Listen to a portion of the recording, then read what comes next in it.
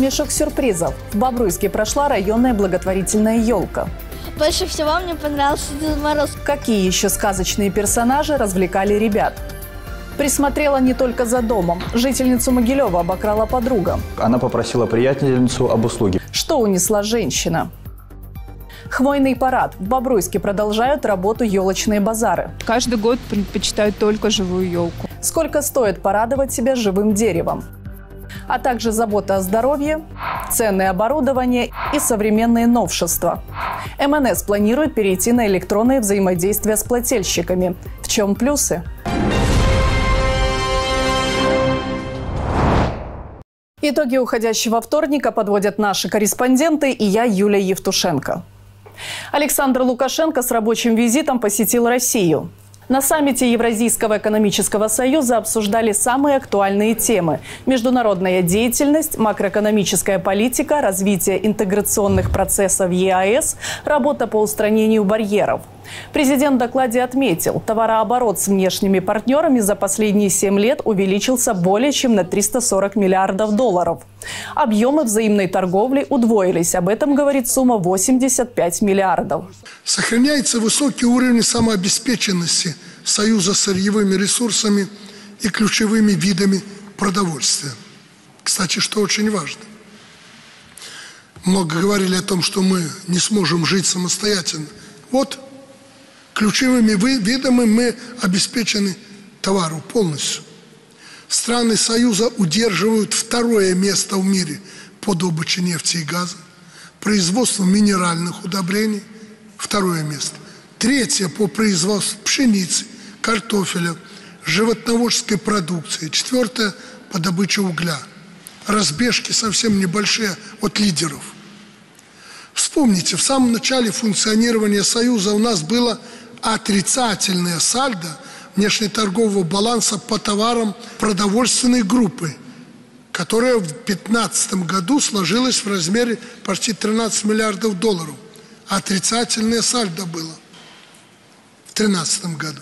Сейчас, благодаря слаженной работе в рамках Союза, устранили дисбаланс и вышли в плюс по продовольствию. Это важнейший фактор. Людей накормили своих и обеспечиваем другие страны мира. Александр Лукашенко отметил, несмотря на все попытки геополитических конкурентов разобщить, ЕАЭС справился с вызовами и продолжает двигаться вперед.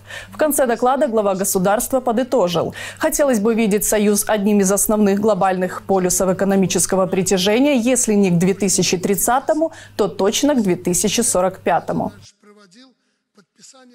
С такими друзьями враги не нужны. Могилевчанку обокрала приятельница, пока та находилась в отпуске.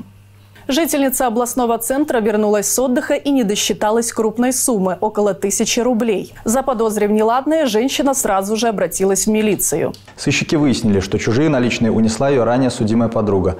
Когда заявительница решила уехать в отпуск, она попросила приятельницу об услуге – периодически приходить к ней в квартиру, чтобы кормить собаку. Возбуждено уголовное дело. Цифровое взаимодействие, поддержка государства и поезд волшебства.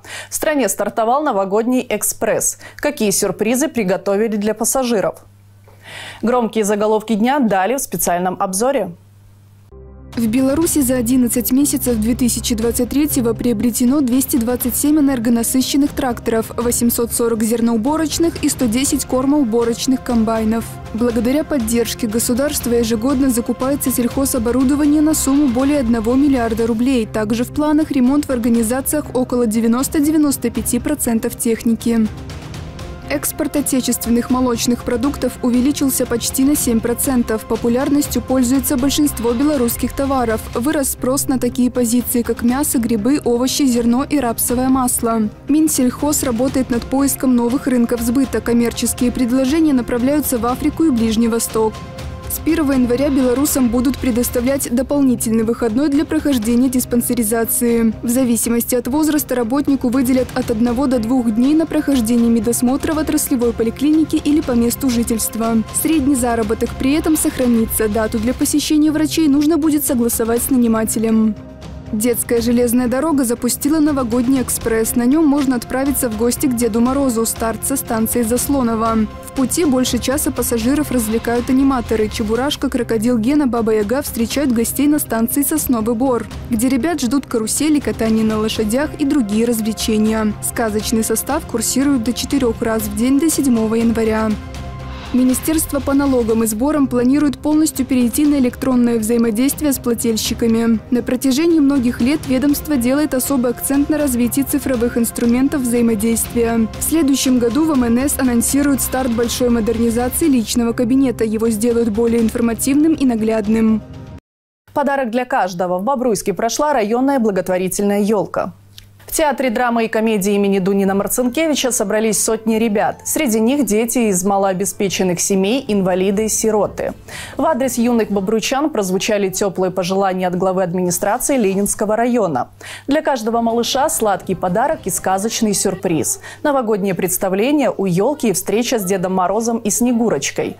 Волшебные персонажи порадовали песнями, играми и зажгли огни на главной зеленой красавице. Дети ждут от нас внимания. Все все уровни власти используют любые возможности для того, чтобы подарить детям радость, подарить какие-то подарки, какие-то сувениры, чтобы э, создать это новогоднее настроение, ожидание чуда. Больше всего мне понравился Дед Мороз, он такой красивый. А больше всего, больше всего Снегурочка.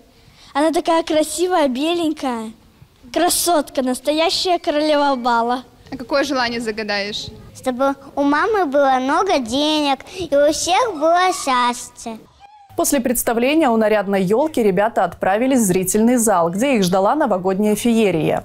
Детективный мюзикл «Переполох. Следствие ведет снеговик» перенес гостей театра в лавку-мастерскую Деда Мороза. Главные персонажи погрузили малышей в сказку на современный лад с оригинальной музыкой и красочными декорациями.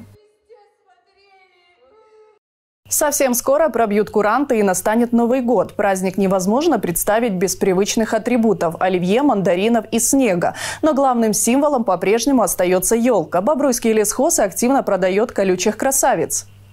О ценах расспросила Юлия Вернер. Колючие лапки, статная голубая, красотки в катках, малютки сосны. Покупателю есть где разгуляться. Деревья на любой вкус и цвет разлетаются на ура. Город буквально усыпан точками продаж. Куда ни глянь, тут и там расположились предприимчивые продавцы. План реализации для каждого лесничества 350 единиц. Без елки не останется никто. Большинство людей, многие приходят, несколько лет стояла искусственная елка, отказываются от искусственных, покупают живую потому что надоело. Не хватает, нету запаха, того нету той новогодней атмосферы. Ценовой диапазон на любой кошелек. До метра обойдется в 9 рублей 60 копеек. Любители повыше отдадут от 12 до 24. Ель в катке также выйдет в 24 рубля. По окончанию праздников ее можно высадить на участке. После покупки выдается специальная квитанция. Гарант того, что дерево срублено сотрудникам лесничества и приобретено легально. А вот за самовольную добычу физлицы заплатят от 185 до 1110 рублей и ИП до 7400. Юрлицы и вовсе могут отдать свыше 11. Э, чаще пользуются спросом елочки длиной от 1 метра до 2, а также елочки в катках с корневой системой э, до метра, небольшие. Также спрашивают букеты новогодние, просто веточки просят. Приобрести главное украшение праздника можно на Минской 22 и 54, проспекте Строителей 88, 50 лет в ЛКСМ, а также возле входа на центральный рынок. Всего 8 точек с пушистыми и ароматными красотками. Время работы с 10 до 19 ежедневно. Каждый год предпочитают только живую елку. Искусственную пока нет. Да, некоторые жалуются, что иголки осыпаются, но если правильно установить, то она очень долго даже может и просуществовать. Во-первых, цена, а во-вторых, а, живая пахнет вкусно, там свежесть дом передает этот атмосфера. Чем больше, тем лучше пушистую. Ну, по два метра можно. Новый год дракона обещает привнести в жизнь изобилие, процветание и жизненную энергию. Чтобы чешуйчатый был благосклонен, рекомендуется украшать елку в красных и золотых цветах, а после всех приготовлений загадать заветное желание. Юлия Вернер, Дмитрий Шевцов, Станислав Чечерин, Бобруйск, 360. Вифлеемская звезда. Католики отпраздновали Рождество. С самого утра костел непорочного зачатия Пресвятой Девы Марии гостеприимно распахнул свои двери. Десятки жителей собрались в обители, чтобы помолиться и пообщаться с единомышленниками и в теплой атмосфере добра и общности отпраздновать рождение Христа. Под звуки хорового пения и проповеди люди смогли обрести покой и умиротворение. Рождество для меня – это, естественно, очень значимый праздник. Это, во-первых, семейный праздник – где мы собираемся, естественно, всей семьей, а, идем в костел. И это, естественно, чудо, в которое нужно верить. Я и сам, как верующий католик, очень проникнулся э, праздником еще в первый раз. И сейчас испытываю, естественно, те же эмоции уже более осознанно и более так проникновенно. Мы собираемся большой семьей, нас очень много, 16 человек, много детей, поэтому для нас это самый главный праздник. Захочу вас і віншую, і одночасово жадаю, каб у сердце кожна, як у духовенства, так у светских вернікаў, ва ўсіх людзях добрай волі, которые, можа, часам выпадкова сябе акрэсліваюць агностыкамі, але любяць Бога – это святая урачыстасць для ўсіх нас. Поэтому нехай у наших семьях, где нараджаются наши детки, мы святкуем. К торжеству приобщились как взрослые, так и малыши. Атмосфера праздника наполнила сердца людей и подарила надежду и веру в лучшее. Сразу после нас Бобруйск Лайв моя коллега Мария Бересневич расскажет, за кем особо пристально будут наблюдать милиционеры в новогоднюю ночь, почему не стоит соблазняться легкими деньгами в интернете и как не получить травму под бой курантов. Все ответы в 2045 не пропустите. Это все из событий к этой минуте. Смотрите нас в интернете и соцсетях. Мы в эфире каждый будний вечер. Счастливо!